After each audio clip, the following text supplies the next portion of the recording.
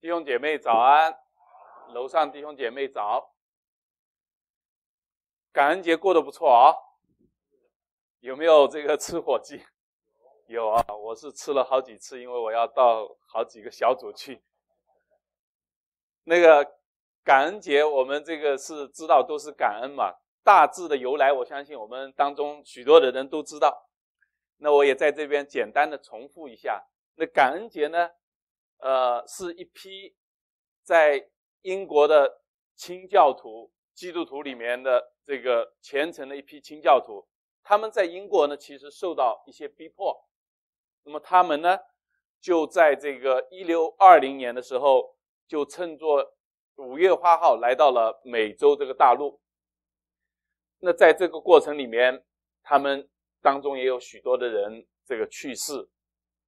那在这个地方也饥寒交迫的，其实生活很艰难。那么他们其实是当时的新移民啊。那在印第安人的帮助下呢，他们学会了这个怎么样子在这个地方生存。他们也种植玉米、南瓜。那后来呢，就有了好的收成。那为了感谢这些印第安的帮助，那更是为了感谢上帝的这个供应。那么就有这个感恩节的这样的由来。那在这个故事里面，我觉得这个历史这个真实的事件里面有三个因素在这中间啊。一个，哎，基督徒虽然是蒙恩的一群，但是在我们的生活里面，在我们的人生的旅程当中，我们仍然会受到逼迫的。同时呢，我们看到这些人，他们为着。所发生的事情，他们就献上感恩，而且呢，是有一些彼此的帮助、彼此的感恩在里面。那今天我们要讲的这段经文呢，其实是保罗也是给当时的腓利比的教会的门徒们，告诉他们：我们作为一群蒙恩的、蒙了神救赎恩典的基督徒们。如何在日常的生活里面把这个信仰活出来？如何在我们每日的生活里面把这个神的恩典见证出来？把这个我们所领受的福音见证出来？那我们的题目呢是说同心并且甘心受苦。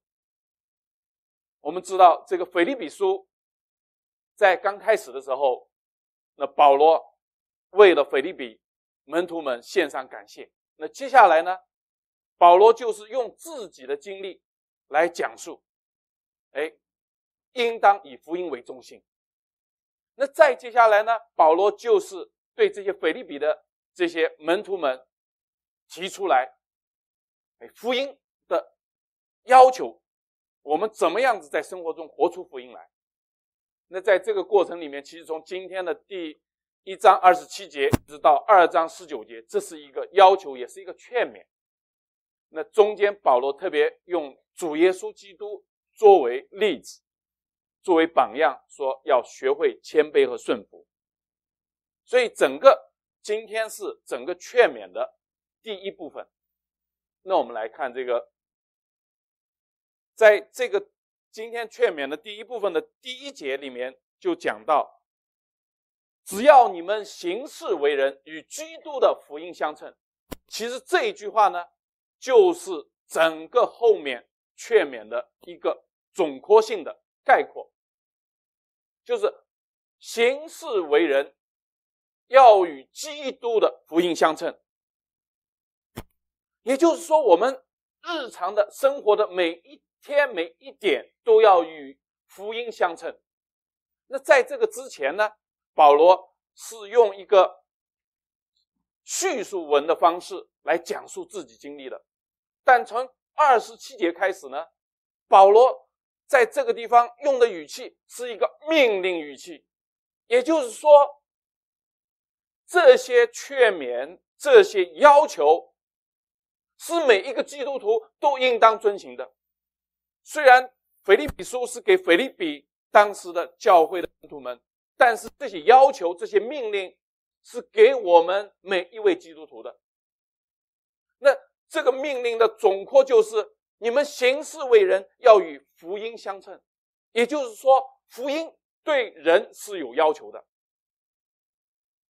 我们知道，我们福音是拯救我们从罪恶中出来，这个是我们每一个人都记得很清楚。我们觉知的那那一刻，同时福音也在更新改变我们的生命，而这个是我们一生的经历。所以，我们作为基督徒，那怎么样子才能够把这个福音，我们说传扬出去，把这个福音见证出来呢？那就是要在我们日常的生活里面把它活出来。那保罗也针对当时腓利比门徒他们所处的处境，他们当时的一些状况，他特别提到，哎，如何在生活当中行事为人与福音相称呢？他特别提到的一点，就是保罗说：“你们行事为人要与基督的福音相称，叫我来见或来见你们，或不在你们那里。”也就是说，保罗他说：“或许我从监牢里被释放来见你们，或许不在你们那里，可以听见你们的境况，知道你们同有一个心智，可以站立得稳，为所信的福音齐心努力。”所以保罗在这地方讲的一件事情非常的重要，说你们要同有一个心智，那同有一个心智，也就是说你们在灵里面你们要合一。那在灵里面要合一是非常的重要，因为主耶稣在被卖被捕前的一天，被捕前的时候，那主耶稣专门。为门徒们祷告，在那个祷告里面有四次提到门徒们要合一，所以可想而知，作为基督徒，门徒们彼此之间的合一是多么的重要。那在这地方提到你们要同有一个心智，那也就是说，哎，基督徒之间彼此之间有不同心的，那我们也想要问一下，基督徒。都有同一位主，都领受同一位圣灵，那为什么还不福音不合一呢？主要的原因其实就是我们的自我。当我们以自我为中心的时候，那我们的自私就掌控我们的心思意念了。我们若是两个人不同心。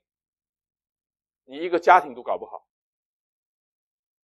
那十个人你不同心，你一个小组就搞不好。那我们国语堂现在二百人左右不同心，二百条心，这个事情怎么做？整个教会就单单我们教会上千人，如果一千个心，怎么怎么做？那保罗提到，当以谁的心为心呢？我们难道是说谁的声音大，我们就听谁的吗？还是谁的力气大听谁的？不是。保罗说：“你们要以基督的心为心。”当我们每个基督徒都以耶稣基督的心为心的时候，这个才是一个心，而且这是唯一的办法。那我们可以看到，什么是以接耶稣基督的心为心呢？我们从上下文可以看到很明确。就是我们以福音为中心，以荣耀神为目的。那我们的生活方式是怎么样呢？保罗在上下文里面特别提到，就是要谦卑，要顺服。保罗在那个地方，接下来二章的地方，让我们明确的看到，不同心最其中最根本的一个原因之一，就是因为我们不谦卑，我们贪图虚浮的荣耀。我们看自己比别人强，所以保罗在这个地方说：“你们要同有一个心智。”大家也知道，如果我们不同心的话，我们就分心了。分心了，你怎么还可以说以为福音为中心呢？不可能吧？你只有同心了，才能够齐心为福音。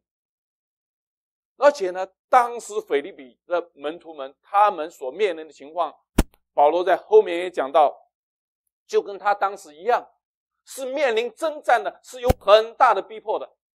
你这时候在逼迫之中，你怎么能够站立得稳呢？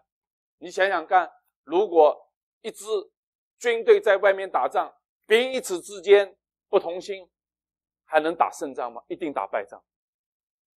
所以，只有同有一个心智，才能够站立得稳，才能够齐心为福音。因为我们知道，福音是领我们与神和好。当我们不能彼此同心的时候，别人怎么知道神在我们中间？所以主耶稣给我们的命令是说：你们彼此相爱，别人就知道你们是我的门徒了。所以同心才能够齐心为福音。我们只有同心，才能够见证福音。同心是。行事为人与福音相称的一个行为。那当时我们说，这些菲利比门徒们，他们面对的逼迫是什么呢？二十八节在这地方讲，凡事不怕敌人的惊吓，这是证明他们成人，你们得救都是出于神。那我们要简单的讲一下菲利比。那个城市呢，当时是罗马的一个殖民地啊，它是属于罗马的，所以菲利比这个地方呢，他们所有的居民都是罗马帝国的公民。那其中相当的一部分人呢，是上一次战争留下来的一群士兵。那在罗马时代的时候，当时是要求所有的人忠于皇帝的。那同时呢，他们是把皇帝当做神明一样来敬拜的。所以，当福音在这个地方传开的时候，那福音要求也告诉人，只有一位是独一的真神。那这个时候当然会有冲突。那这个时候，那些听了福音就相信福音的人，他就那成为。我们说跟随门跟随的门徒，那些不相信的呢？有些人手中当然有权利，他当然会有逼迫。所以呢，在这个地方说，他们不要怕敌人的威威吓，也不要怕他们的用各种各样的行为来逼迫你们。所以保罗在这个地方特别的强调，叫这些腓利比的门徒们。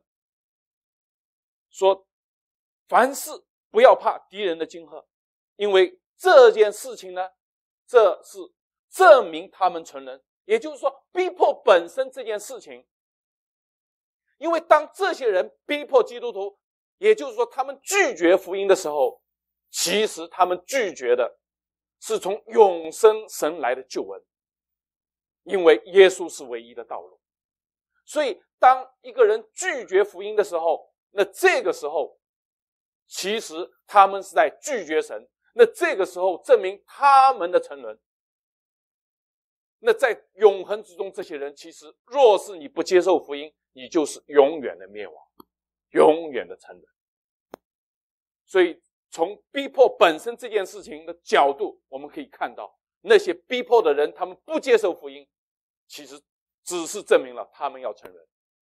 而从另外一个角度呢？这些被逼迫的腓比的门徒们呢，是一个什么样状况呢？保罗说：“哎，你们得救是出于神，也就是说，这些人他们被逼迫，为什么被逼迫？是因为福音的缘故，是因为他们相信了耶稣基督的缘故。那在这个时候，保罗说：‘哎，这个就证明你们是得救了。’为什么这么讲呢？主耶稣也讲过。”仆人不能大于主人。他们若逼迫了我，也要逼迫你们。所以被逼迫是基督徒的一个标志。基督徒不属于这个世界，所以基督徒一定会受到这个世界的不欢迎，会受到逼迫的。所以在这个地方，保罗说：“哎，证明他们承认你们的救都是出于神的。”那在这个地方，保罗接下来在二十九节这地方说：“因为你们蒙恩，不但得以信服基督，并且要为他受苦。”说我们蒙恩得以信服基督，那原意在那信服就是相信基督的意思，并要为他受苦。我们看到这个相信和受苦都是同一个恩典。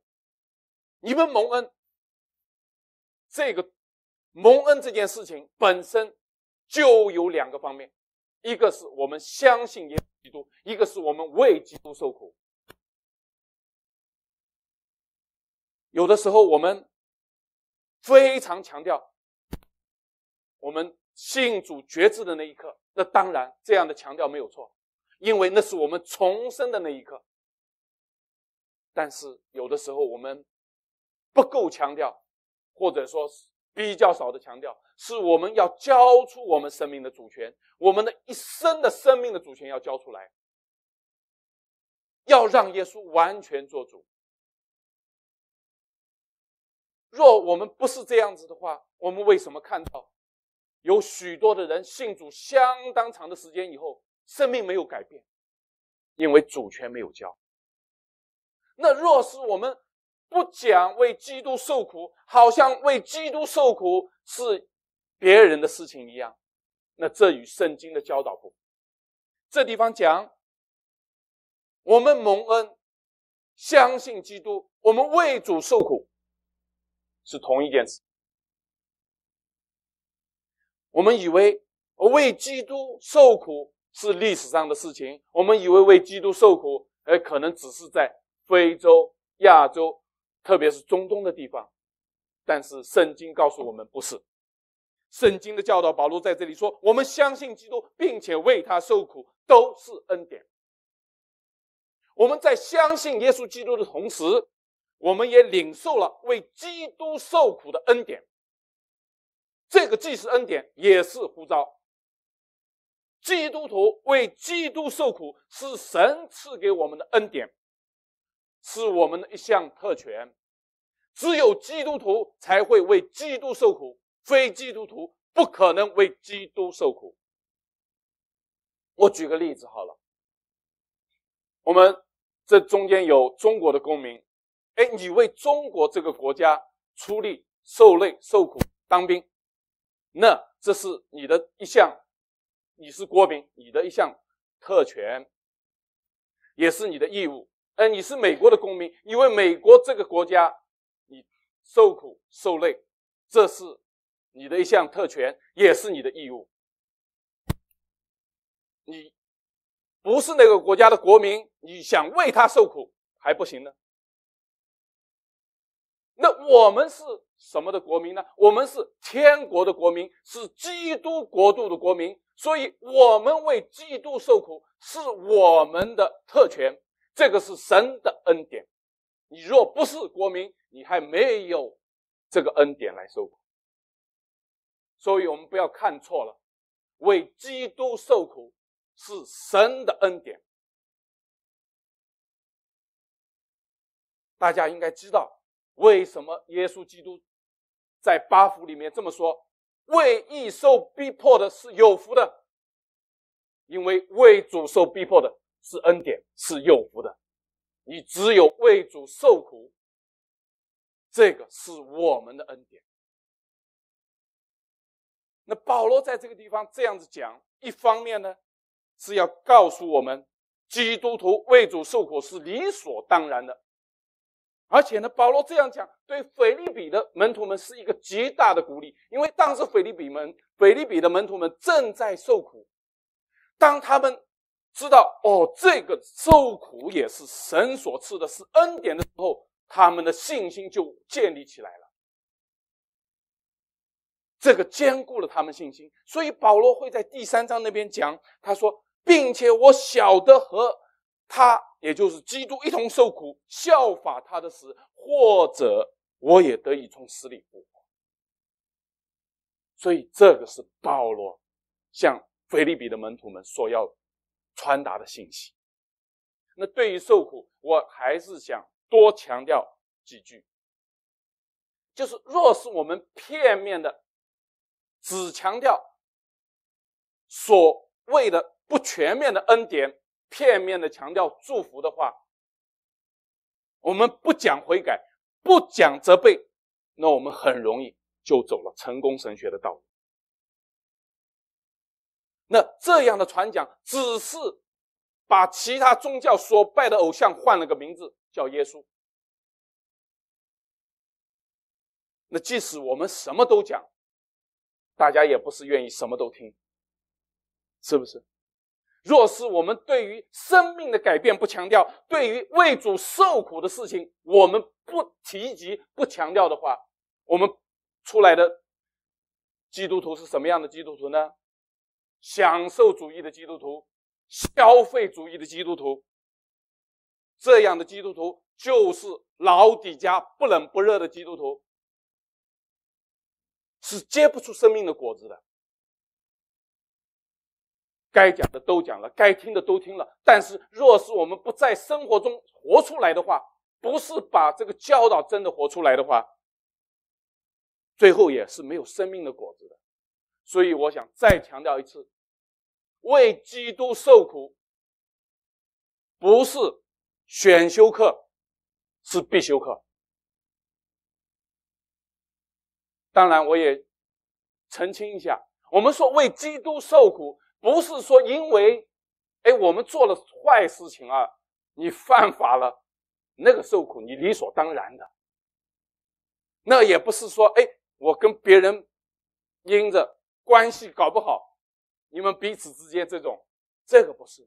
保罗在这地方讲的是为基督、为福音甘心受苦。若是你做错了，你受苦那是你当得的。这是我们今天要讲的第一点：同心、甘心为主受苦，相信与受苦都是恩典。那我们接下来要讲今天的第二点。那保罗在这个地方。讲的时候，其实他知道腓利比的门徒们的状况，因为腓利比教会对于这样的信息，他们其实是立即就要应用的，因为确确实实在腓利比里面有不同心的状况，所以保罗在第四章第二节的时候，他说：“我劝有阿迪、寻都基都要在主里同心。”那在原文这个地方呢，寻都基前面也有个“我劝”这个字。那保罗为什么这样子来写呢？说我劝有阿迪，我劝行都基都要在主里同心呢？那在这个地方，两个人不同心，有没有对错？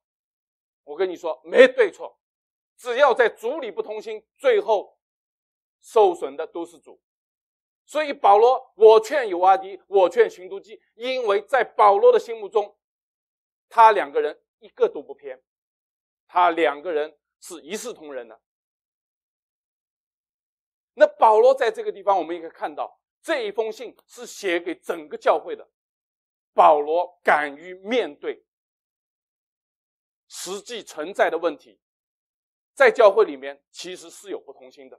其实，在这个世界上哪一个角落里面都有不同心，只是我们教会对待不同心的方式与外面的世界不同。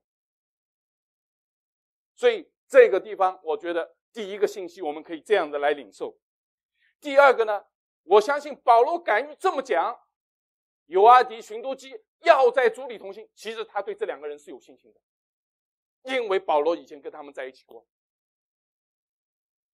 同时呢，他提醒的是这两位是说要在主里面同心。为什么要在主里面同心？因为所有的人与人之间不同心的分歧，若是在主里面，若是回到十字架面前的时候。你就知道，你那些分歧是这么的不重要。十字架得胜了死亡，十字架得胜了罪恶的捆绑。那彼此间的不同心，许多的时候都是我们自我做了主了，是我们的内心的骄傲，我们的自大。所以保罗。也特别提到在前面要谦卑。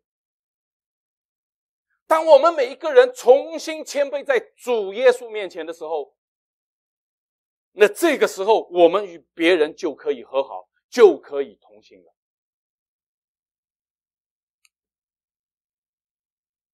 那保罗这样子讲，当然保罗是爱这两位同工的，保罗是爱教会的，否则他不这样讲。当然，保罗是爱基督。那第二个方面，保罗说：“我也求你这真实同父一二的帮助这两个女人，因为他们在福音上曾经与我一同劳苦，还有格利棉，并其余和我一同做工的，他们的名字都在生命册上。那在这个地方，哎，我也求你这真实同父一二的。”到底这一位是哪一位呢？其实圣经没有讲。其实圣经在这地方，你看也没有讲他们为什么不同行。那同父异二的那许多解经家呢，是说，哎，这个是可能是整个教会。当然，也有一些解经家认为这地方是某一个当时腓利比教会的领袖。我想着，在这个地方，其实具体是哪一个也不重要。但是当一封信写出去的时候，那个时候是要叫人派人送信的嘛，一定有一个收信的人，而这个人我相信是教会的领袖，因为你想两个姐妹不通信，全教会的人都去说，那不成麻烦了，一定是某一个人呐。但是呢，全教会当他们和好的时候，都见证了他们从不同心到同心这样一个事实。而且保罗在这个地方特别提出来，他们。在宣扬福音上是和我一同劳苦的，所以我们可以看到哦，保罗他不仅仅看到这两个人的问题，也看到这两个人的优点。坦率说，有的时候啊，当我们看到某个人优点的呃缺点的时候，我们容易放大那个人缺点，就觉得这个人看过去怎么都不顺。其实呢，一个人他有优点也有缺点。那更为重要的，保罗在这地方说。他们这些人都是生命册上的人，也就是说，这些人是在永恒国度里面有份的人，他们有新的生命。所以保罗在这个地方为什么说要帮助这两个女人呢？是因为要帮助他们活出来这个新的生命，因为这些人都是在永恒国度里头，在生命册上的人，所以保罗要求教会应当帮助。这两个人活出新的生命来。我们这个时候，我们经常讲，我们是什么阶段？是训练阶段。所以是为真的永恒，我们被操练。那今天呢，我们中心思想就是彼此同心，并且甘心为主受苦，才是与福音相称的行事为人。我们彼此要同心，并且要有甘心为主受苦的，才是与福音相称的行事为人。我们讲应用，应用第一点，从不同心到齐心为福音。不同心肯定会有的，那第一个我们就要正确面对。你想想看，腓利比教会其实是非常好的教会，保罗对腓利比教会是。不停的感谢赞美的，但是即使像腓利比教会，照样有不同心的事情。你说我们教会有没有？一定有啦，没有一间教会没有的，不用去。若是我们不能正确面对的话，其实呢，我们不能正确面对，我们其实不可能真的有成长，真的有进步。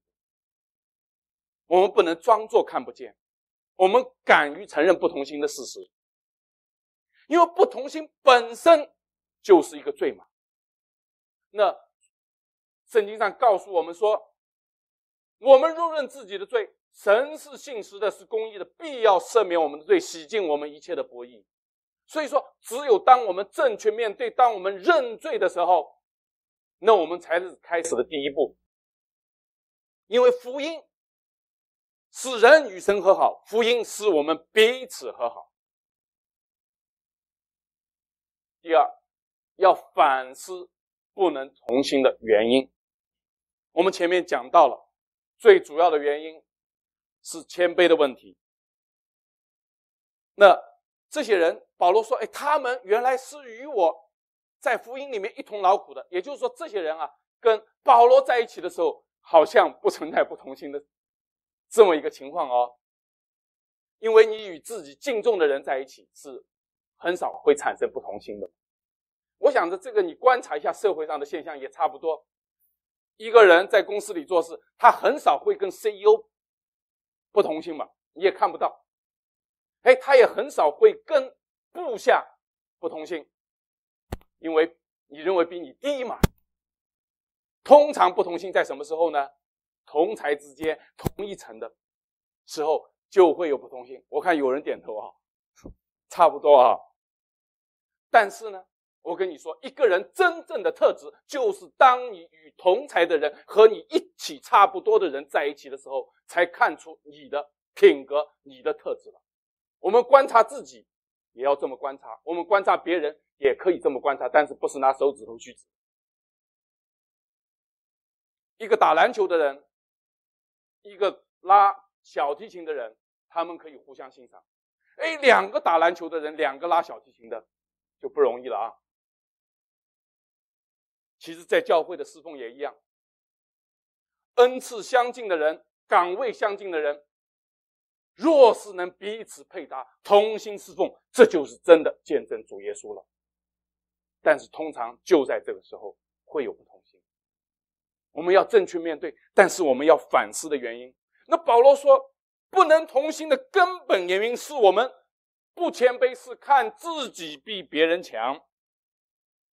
所以在这地方，我们看到是什么呢？同心不在于你说，不仅仅在于你说什么，因为说我们可以说的很好听；也不在于你做什么，因为做你可以做表面的文章。保罗说，在于你内心怎么看，你怎么看自己，你怎么看别人。如果我们内心看自己比别人强，就陷在骄傲自大里面了。所以保罗说：“你们个人要存心谦卑，看别人比自己强。我们的心，我们都知道，我们看别人是怎么样，我们看自己是怎么样。保罗如何能做到看别人比自己强吗？容易吗？没人回答啊！看别人比自己强不容易，这就对了，因为确实不容易。若是我们很容易看别人比自己强，保罗要这样交代吗？”那我们如何来看别人比自己强呢？其实只有一个办法，我们从基督的眼光来看，看我们自己，也看别人。我们从基督的眼光看我们自己，我们一看就看到我们自己的亏欠，我们自己的不足。那我们从基督的眼光看别人，我们一看就看到神在这个人身上的恩典，神给这个人有恩赐。神在这个人身上，他有成长的潜力，我们就看到了神的恩典，我们就看到了这个人比我强，因为神对他有心意，神对他有恩典。所以，我们只有在基督里面看，才能够看别人比自己强。在这方面，坦率说，我自己也有很多地方是亏欠的。也需要不断成长，那我也恳求神帮助我更新我，让我更敏感的看到弟兄姐妹每一个人你们的长处、你们的优点、你们从神而来的恩赐是什么。然后呢，我鼓励和你一起配搭来建立教会。其实我跟所有的同工，无论是小组长们。无论是我们的 officers，教会的这个 core team 里面同工，包括有些人有抬头没有抬头的同工，我其实都讲了一件事情，就是什么呢？我们要留心神在我们中间的作为，留心神带给你身边的人，留心神带给你身边的人的恩赐，用心栽培他们，因为。这些是神托付给我们的，把他们栽培成未来的领袖。留心神的作为，留心神在带给你身边的人，留心他们的恩赐。所以同心非常的重要。我们不能同心，我们一定要反思，因为有的时候啊，我问一些弟兄姐妹，请他们出来侍奉，他说我不不不不不，我说为什么呢？他说我侍奉过程里面受到过伤害，那伤害大到他越不愿意说，所以凡是不同心的，我们要反思，因为若是我们不反思不解决，那。就会带来伤害。这个伤害不仅仅伤害别人，也伤害自己的，也伤害自己的。所以，坦率说，侍奉中一定有冲突的，侍奉中一定会难免的会有冲突。但是，我们朝前走。那保罗也是在第三点，我们说，哎，我们要正确面对，要反思原因，而且呢，要合一，为了合一，齐心努力。我们知道。我们中国人的文化其实是说，对个人自扫门前雪，莫管他人瓦上霜。哎呀，那个不要碰啊！且尤其是他们不同心，你再去碰，那不是添乱吗？但是基督徒的文化不是这样讲。基督徒的文化说，个人不要单顾自己的事，也要顾别人的事。当然，我们看到不和睦的时候，我们最起码要为他祷告，为他们祷告。但是呢，这个时候呢，也不是说所有的人都要怎么样，而是说你若是神有感动，你有智慧，你也是合适的人，你就成为那个和睦的人。这是我们要讲的应用第一点。第二点，受苦和逼迫，哇，这个通常一讲这个就不太招人喜欢，但是我不得不讲。因为圣经既然这么教导，我就得讲。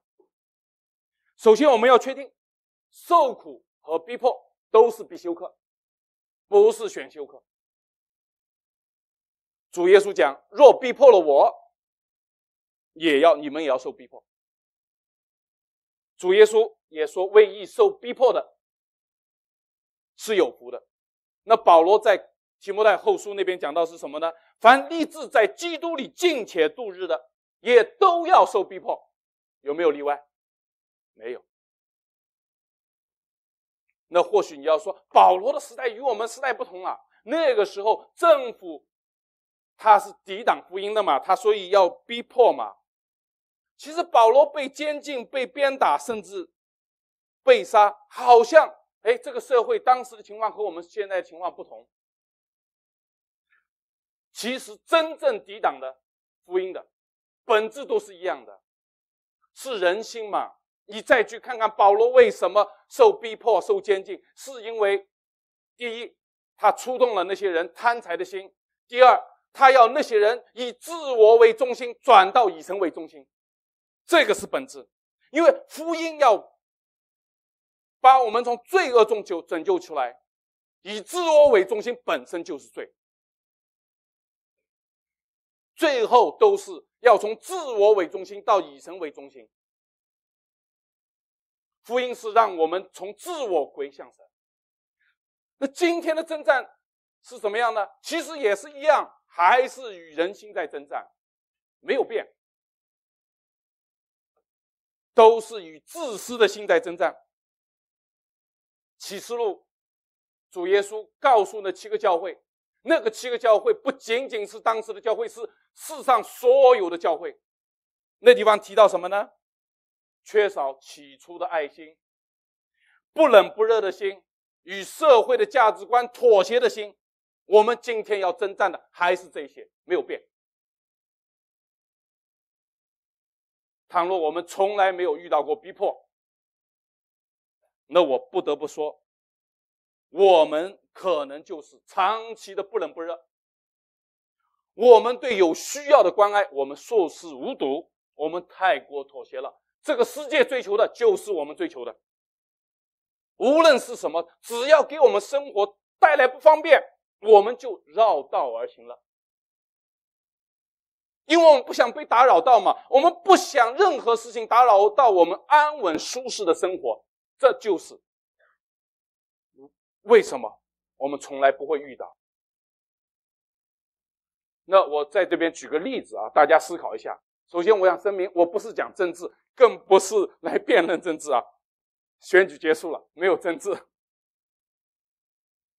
请问中东的难民进入美国好不好？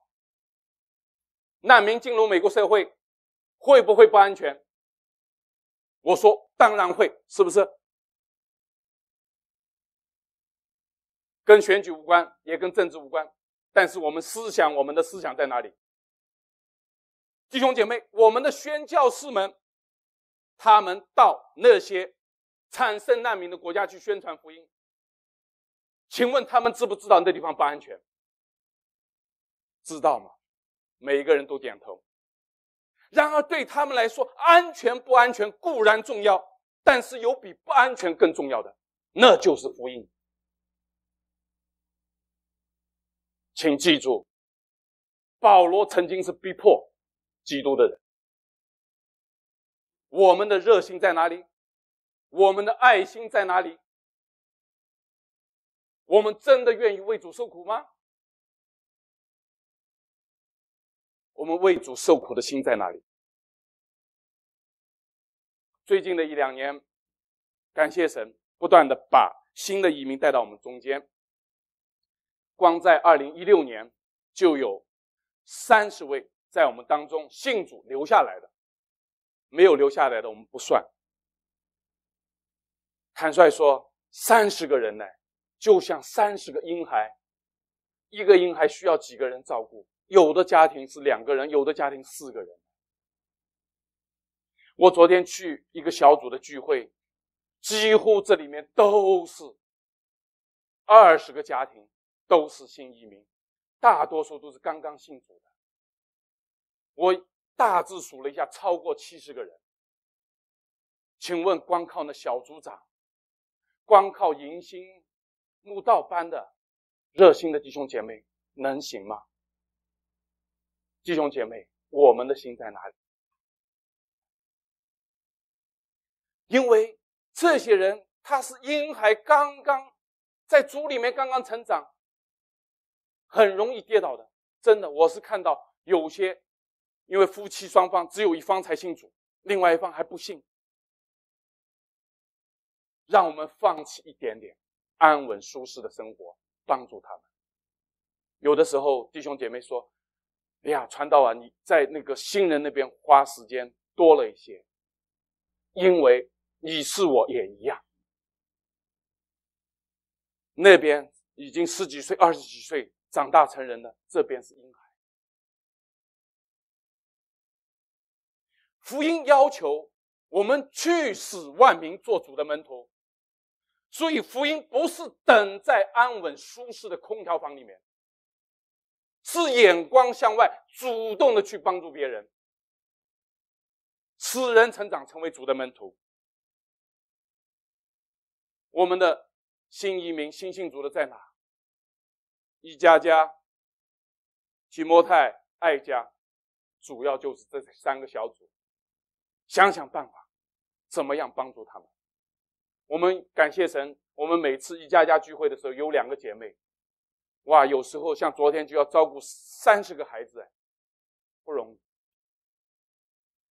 我与迎新的同工哦，有时候也一起讨论，哎，就发现哦。新来的朋友有几种情况，有的就是随便走进来的嘛。我想今天都会有这样的情况。那很多是什么情况呢？就是刚信主的弟兄姐妹，他们领进来的。为什么？难道是因为他们比我们更熟悉圣经吗？不是吧？我想他们刚刚经历了那种得救的这种喜乐，他们对神起初的爱心还在。那。当然还有个原因，他没信主之前，当然就有很多的朋友嘛，未信主的朋友。那我们呢？我们信主多年的弟兄姐妹，我们是否主动屏蔽了一些未信主的人作为我们朋友呢？我在前前一段时间也是去另外一个小组，我听到两个见证，我很很感触，我也讲给大家听，希望大家想一想。其中有一位姐妹讲啊，她说她信主是因为她医生的太太向她传福音。前面有人向她传过，但是医生的太太那次向她传，她就信了。我相信这个医生的太太除了给这个病人传，也给别人传过，而且有拒绝的，不是没有拒绝的，甚至因着这样影响了诊所的生意，未尝不可。那另外一个弟兄讲呢，他说他信主是他的客户向他来传讲福音，他说他刚开始没有办法硬着头皮听，哎，后来神感动他，他就信主了。我也相信这样的人，他也曾经向其他的客户传过福音，可能甚至。当然有拒绝的嘛，甚至因因着影响生意的有没有？也有。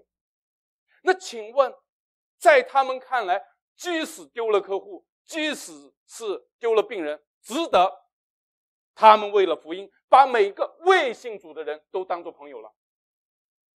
我们有没有屏蔽掉我们的未信主的人作为我们朋友呢？我们是不是现在数一数，都是只有基督徒做我们的朋友呢？